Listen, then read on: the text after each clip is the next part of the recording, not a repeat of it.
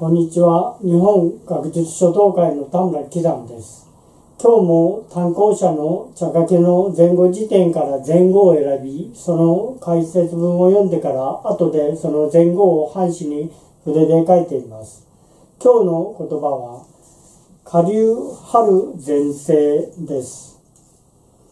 花は満開、柳も緑の糸をいっぱいに垂らし、まさに春爛漫、天下太平。古今和歌集にある見渡せば柳桜をこき混ぜて都と春の錦なりけると同様の趣を表します。テーマから下流春前世を書いています。